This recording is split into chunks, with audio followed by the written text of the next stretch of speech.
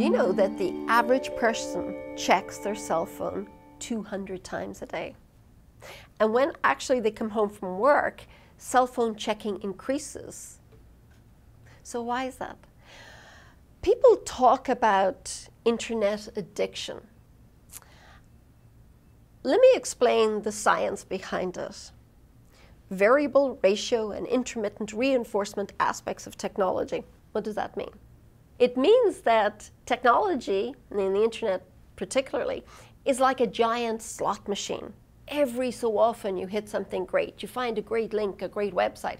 Every so often you get a brilliant email praise from your boss or that text that you've been waiting for.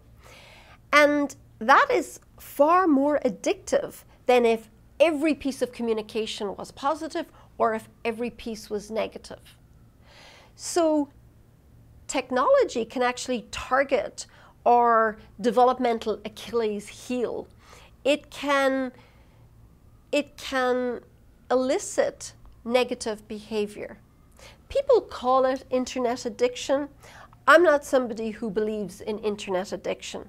Why? You cannot be addicted to air.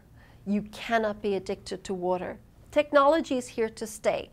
You would not be able to live or get a job or survive without at some stage engaging with technology. I'm a cyber psychologist. I couldn't do my job without access to the internet. So the thing is, it's to learn to modify our behavior. Addiction applies an abstinence model. You cannot, in this day and age, abstain from technology. So I prefer to think of it in terms of adaptive behavior.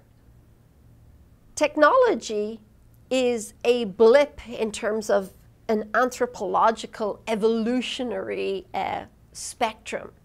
And it has happened so quick that we as humans are struggling to keep up with what it offers and how our behavior is evolving. And the negative behaviors that we see at the moment, I like to think of them as being maladaptive behaviors or cyber maladaptive behaviors. And the good news about that is that you can do something. Just like learning to stop biting your nails when you're nervous, you can learn to control your use of technology. Technology is here to serve us, not for us to become a slave to it.